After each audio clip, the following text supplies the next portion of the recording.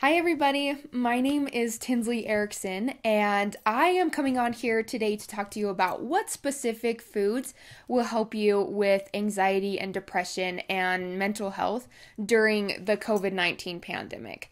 I am sure I'm not alone in feeling completely hopeless at some time because of this pandemic. It has completely turned our lives upside down, and one of the very few things that we have any control over is our food.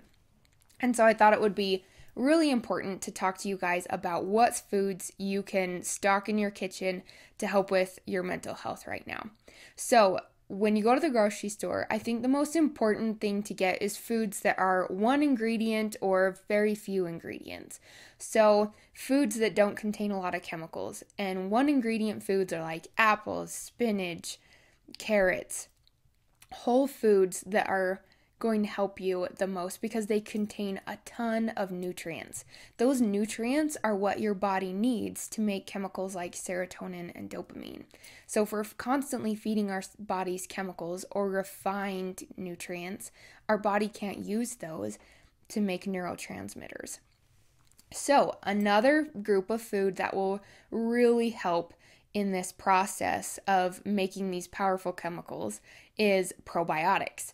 Now, probiotics aid our digestive system. If our digestive system isn't working correctly, even eating those good foods isn't going to help us because your digestive system is supposed to absorb those nutrients and convert them into usable fuel for our brains and to make chemicals like serotonin and dopamine. If your digestive system isn't working correctly, even the best diet can't be used to make those chemicals. So, we're going to boost our digestive system by eating probiotics.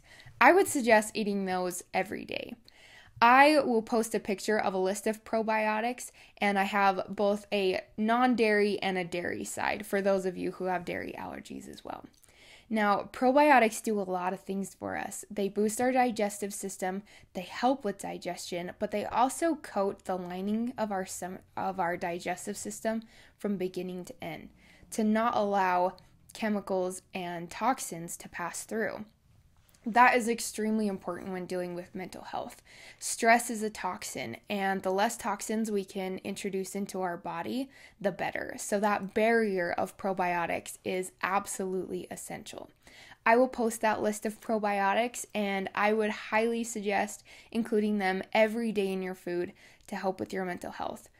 For any questions that you may have. I would love to answer them on this um, page. And I am so excited for you guys to try out probiotics and see what it does for your mental health. And until I talk to you again, please stay home and stay safe and have a good rest of your day.